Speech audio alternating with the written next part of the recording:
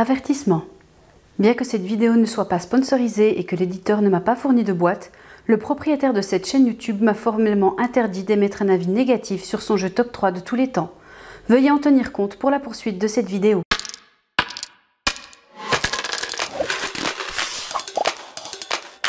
Broom Service est un jeu magnifiquement conçu qui est aussi amusant à jouer qu'il est beau à regarder. Il se déroule dans un monde féerique où les joueurs prennent le rôle de sorcières qui tentent de collecter le plus de points possible. Avec l'aide de leurs amis druides, elles vont se balader sur le plateau merveilleusement designé en tentant d'être le plus courageuse possible. Malheureusement, elles devront parfois être lâches pour assurer leur livraison. Ce jeu, à la fois très stratégique et accessible, vous garantira des moments uniques et épiques avec vos amis. Pour preuve, voici la vie d'un grand fan anonyme. Alors, étant moi-même habituellement un joueur de gros jeux euro, j'ai pas l'habitude de jeux de deck building comme Broom Service. Par contre, waouh, la claque que je me suis pris en jouant, je suis resté assez bluffé par ce jeu qui est unique en son genre. Sa mécanique de choix d'action est bien mieux que dans Trickerion ou Ibris par exemple. Je pense qu'il passera assez rapidement en tête de ma liste de jeux favoris.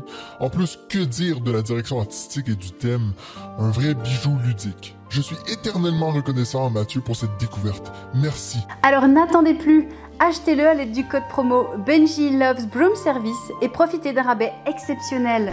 Ok, ok, ok. Soyons sérieux et espérons que Matt ne soit pas dans les parages. Quel est cet Olni de Broom Service dont Mathieu parle depuis la création de sa chaîne YouTube? Broom Service est un jeu du grand Alexander Pfister et d'Andreas Pelikan, illustré par Vincent Dutray. Heureusement qu'aujourd'hui ils n'ont plus rien à prouver. Il est édité par Ravensburger, ce qui rend cette boîte encore plus originale avec ce merveilleux coin bleu. Et, point très important, il a gagné le Kennerspiel des CRS en 2015. Que les balèves rombissent et les potions surgissent Bon, concrètement, qu'est-ce qu'on fait dans Broom Service? Eh bien, réécoutez le début de cette vidéo et vous saurez tout. Non, je plaisante.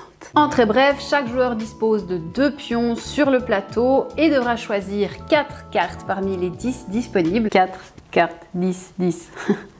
Il faudra donc bien planifier ses actions et aussi anticiper celles des autres. Mais ce n'est pas tout.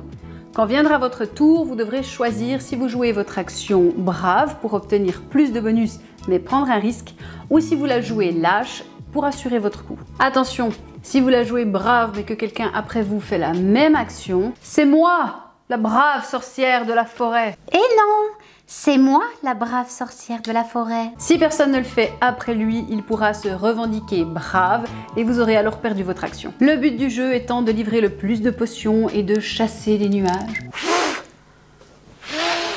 La sorcière qui aura amassé le plus de points à la fin des 7 manches Sera désignée la sorcière la plus puissante de tous les temps.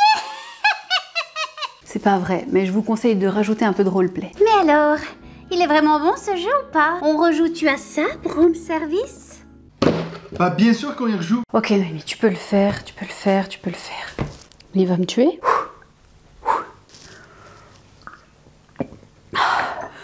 Ok, c'est bon, je suis prête. Bon, qu'est-ce que je pense de Broom Service? Eh bien, même si je trouve que c'est le jeu le plus laid du monde et que j'ai eu envie de partir la première fois que je l'ai vu, ce sont des choses qui arrivent. Comme pas mal de monde, après l'avoir testé, je me suis ruée dans une boutique pour en avoir un exemplaire avec l'objectif de le faire découvrir au plus de personnes possible. Parce que oui, il fait son petit effet autour de la table. Alors c'est vrai que ce n'est pas le meilleur jeu au monde? Non, Mathieu, ce n'est pas le meilleur. Et je ne saurais même pas trop comment le catégoriser. Un party game expert à sortir à 4h du matin. Néanmoins, chaque partie que j'ai faite a créé de l'émotion autour de la table, souvent des insultes d'ailleurs. Et finalement, je n'ai pas retrouvé un jeu qui, malgré son atroce laideur, arrive à convaincre autant de monde. Vous savez, c'est la beauté intérieure qui compte. Bah oui, c'est un bon jeu, qu'est-ce que vous voulez que je vous dise?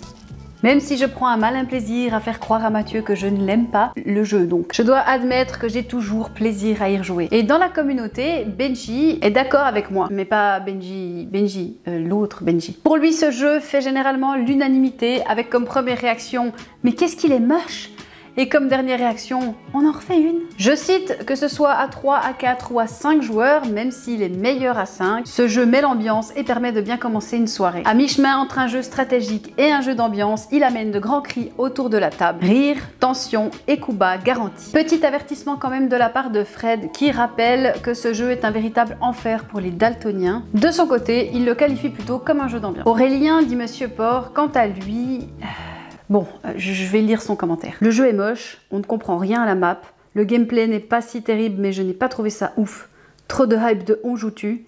La planification d'action est meilleure dans d'autres jeux. La planification d'action est mieux dans d'autres. Aurel, trouve-moi un jeu qui fait de la meilleure planification que Boom Service. J'attends. Je n'ai fait qu'une partie, je ne suis pas sûre que je vais y rejouer, je n'y ai pris aucun plaisir. Bon, même si je suis pas sûr qu'elle va apparaître cette vidéo, hein. Ce qui est sûr, c'est que le jeu divise et ne fait pas forcément l'unanimité dans la communauté, mais il remplit très bien son rôle de jeu de société, il nous réunit autour de la table et nous fait rire. Est-ce pas simplement ce qu'on lui demande? Dans tous les cas, il reste la star de cette chaîne YouTube et il crée de l'émoi.